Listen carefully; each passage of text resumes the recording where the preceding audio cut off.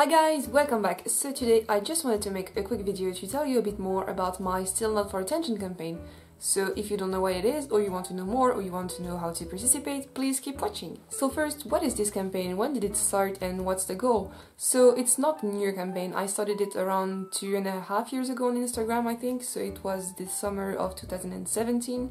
If you don't know, Instagram is where I've been active around self-harm awareness and all of that for four years now, I think. So yeah, I got this idea around two and a half years ago because I was getting so sick of hearing that self-harm is for attention, or more specifically that not hiding self-harm scars was attention seeking, because in my own experience it's really not true. And in the experience of the many many self-harmers I've encountered, it's just really not true. And this stigma is very heavy and very annoying, so I wanted to do something to change that. So I started this campaign on Instagram with the goal of showing that you don't have to hide your scars if you don't want to, and that it's not attention seeking to do so. And also the underlying message is that self-harm recovery is possible, even if you have scars you still can lead a beautiful, happy, great life and that just because you have scars doesn't mean your life is over and that you can't go past that basically. But now just a side note or clarification because it can get a bit confusing. So when I started this hashtag, so two and a half years ago, the hashtag still not for attention was virtually empty. I think there was something like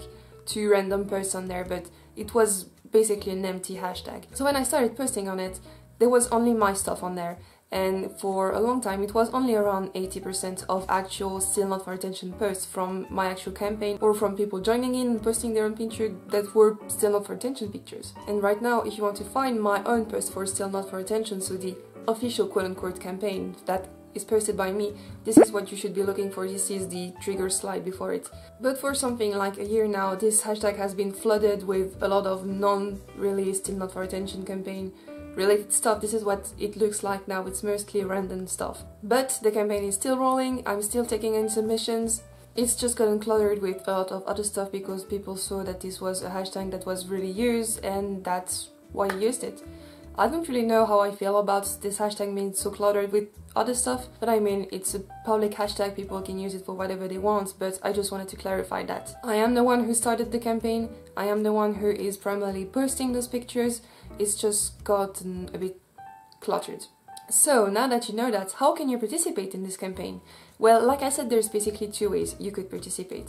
You can post a picture on your own account with the hashtag still not for attention. This is a great way to participate, especially if you don't want your picture to go public or you don't want it to get too much attention because you don't want people to know you have self-harm scars, which I completely understand. But if you want to be part of the quote-unquote official still not for attention campaign, again, not that the other posts are not official or not important, but basically if you want me to post it, here's what you should do.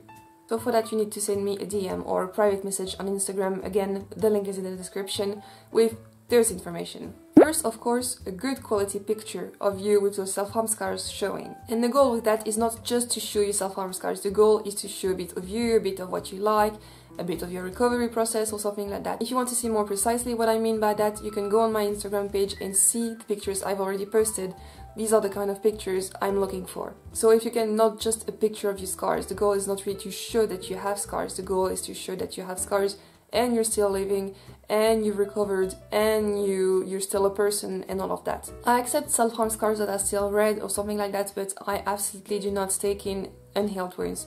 So no scabbed wounds, no open wounds, this is just my personal threshold because I consider that to be too triggering. So scars, not wounds red scars are okay. Second with that, just send in a short text, something like a paragraph or something like that, about you, about this picture, about your recovery, something like that, that I could post as a caption of the image. And third point, tell me if you want this post to be anonymous or not.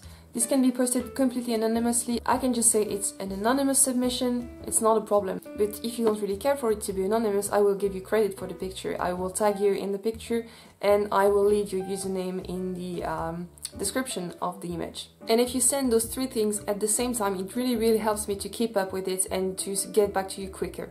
So yeah, I guess that's it for today. I think for once I actually made a quick video. So if you want to participate, again the link is in the description, just send me a DM with all those three things and I will get back to you. And as always, if you want to see my other content or if you just want to chat with me, you can hit me up also on Instagram, link is also in the description. I answer to every DM I get and I will see you very soon for another video. Bye guys!